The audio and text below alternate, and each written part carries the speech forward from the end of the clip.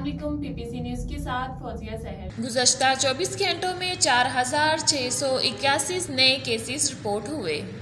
N C O C के मुताबिक cases सात लाख चौंतीस हज़ार छः सौ एक हो गए। मुस्बत केसेस की शरह नौ इशारिया तेईस फ़ीसद रिकॉर्ड की गई। गुजशत चौबीस घंटों में अड़तालीस हज़ार बानवे टेस्ट किए गए। मजहबी जमात के एक तरफ़ मुजाकरात और दूसरी जानब मार्च की तैयारियाँ कर रहे थे। वज़ी अजम इमरान खान के काबीना अजलास में गुफ्तु चौबीस घंटे अहम हैं। उम्मीद है हालात बेहतर हो जाएँगे। माहदे के मुताबिक मजहबी जमात के मुतालबात पार्लियामेंट में पेश करेंगे। पंजाब भर में अमन अमान कायम रखने के लिए और बंद रास्ते खुलवाने के लिए इकदाम वज़ीर अला का कहना है कि बर वक्त कार्रवाई से बेशतर रास्ते बहाल हो चुके हैं। वफाकी कबीना की लाहौर, रावलपिंडी, गुजरावाला, झेलम और दीपालपुर में रेंजर्स तैनाती की मंजूरी। फवाद चौधरी का कहना है कि मामला हल करना चाहते हैं, कोई घरों डिक्टेट नहीं कर सकता। मुल्क भर में आज पहला रोज़ा घरों में सहरी के लिए खसूसी अहतमाम होटल्स में रश लग गया।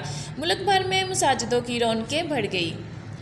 कोरोना एस ओ पीज़ की पाबंदी के साथ नमाज़ तरावी की अदायगी।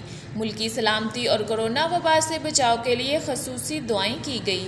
रमज़ान की आमद पर पूरी कौम मिलते इस्लामिया को मुबारकबाद पेश करता हूँ। वज़ी अजम इमरान खान का रमज़ान मुबारक के मौके पर कौम के नाम पैगाम। गुजशत रमज़ान में कौम ने जैसे कोरोना वबा को रोका, वो काबिल स्तश है। रमज़ान मुबारक में एस ओ पीज़ पर अमल करना हम सब की ज़िम्मेदारी है। हमें मुतहद होकर इस नाजुक सूरत हाल का मुकाबला करना होगा। उम्मीद नहीं थी वो बाप को बाप बनाएँगे फजल रहमान की पीपल्स पार्टी पर तनकीद। पीडीएम इजलास के बाद मीडिया से गुफ्तगु में कहा, पीपल्स पार्टी और एनएपीसी मुकम्मल एहतराम के साथ वजाहत मांगी थी। इस्तीफ़ों पर नज़रसानी के लिए एक मौका दे रहे हैं। आपस में बैठकर शिकवे दूर कर सकते हैं। मुतालबात सुनने को तैयार हैं, किसी भी पार्टी से अगर दो बंदे निकल जाएँ तो पार्टी ख़त्म नहीं होती। मौलाना फजल रहमान ने इंतहाई नामनासब बात की है। बाप को बाप नहीं बनाना चाहिए। उम्मीद है अल्फाज वापस लेंगे। कमर जमान का कहना है कि बाप अरकान से वोट लेने की बात हक़ के बरअक्स है। क्या पीपल्स पार्टी ने गिलानी को अपोजिशन लीडर बनाकर बहुत बड़ा गुनाह कर लिया? पीपल्स पार्टी पीडीएम के साथ, चार्टर के साथ खड़ी है। पीपल्स पार्टी पीडीएम के चार्टर के साथ खड़ी है। पीपल्स पार्टी की पीडीएम में वापसी के इम्कान कम होने लगे। पीपल्स पार्टी ने पीडीएम के अहदों से इस्तीफ़े फजल रहमान को भेज दिए।